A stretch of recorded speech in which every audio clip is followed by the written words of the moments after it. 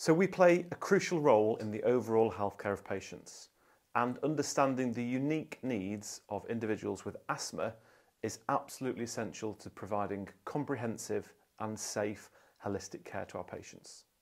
So asthma is a chronic respiratory condition and it's important that you have an understanding of this. It's characterised by inflammation of the airways and that inflammation of the airways then leads to the symptoms that patients present with such as wheezing, shortness of breath and chest tightness and sometimes coughing as well. So the underlying pathology involves a hyperactive response of the airways. And this hyperactive response of the airways is due to a variety of different stimuli.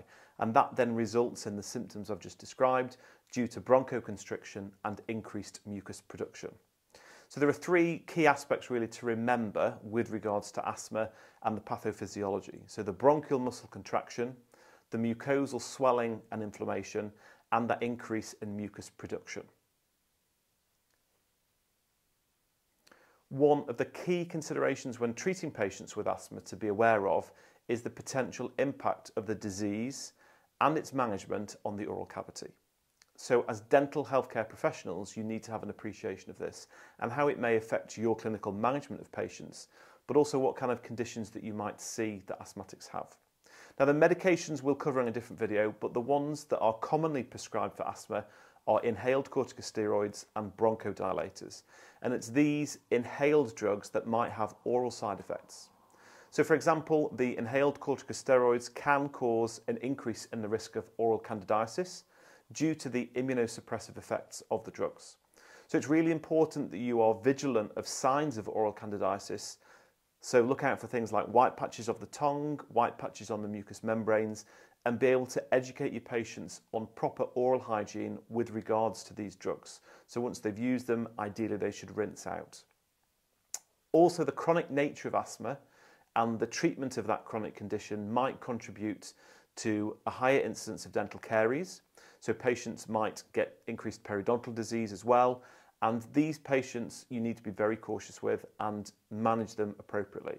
They also often get dry mouth or xerostomia, both because of the disease, but also of the medications and the reduction in saliva flow. And all of that combined obviously will then increase the risk of dental decay.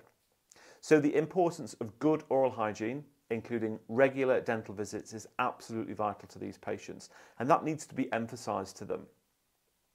So thorough clinical examination and a thorough medical history with these patients will then allow you to inquire about their asthma. And it's important that you have an understanding of their asthma action plan and what brings on acute attacks and how they manage acute attacks. What current medications are they taking? And this might be inhaled steroids and it might be oral steroids. But also what happens in an acute episode. How do they maintain their asthma control? How well is their asthma controlled? So key questions, how long um, have you had asthma?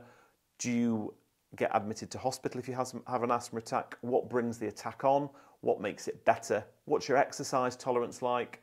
If you have a reliever inhaler, how often do you use it? When do you need it? So having a clear communication plan with the patient and if necessary their healthcare provider is essential and it's essential for that coordinated care. So they will often have a specialist asthma nurse that manage them.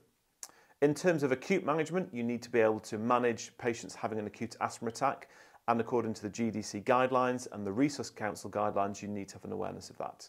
Quite often, stress and anxiety can precipitate attacks. So going to the dentist might precipitate or trigger an asthma attack.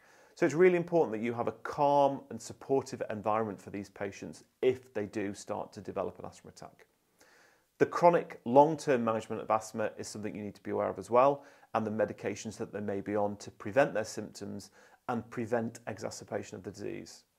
So overall, in summary, you need to be well informed about the key aspects of asthma, key considerations to, to think about when you're managing these patients, have an awareness of how to manage the acute attack and the chronic condition of asthma and how that will affect the oral cavity and how it will affect your management of these patients.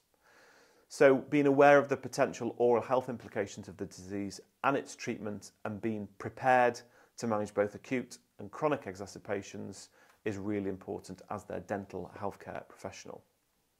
By incorporating these considerations into your clinical practice, then you will be able to manage your patients safely, appropriately, and contribute to the overall well-being of patients with asthma and provide high quality personalised care. In another video, I'm going to talk about the different medications that asthmatics take and the awareness that you need to have of that staged approach of, of management.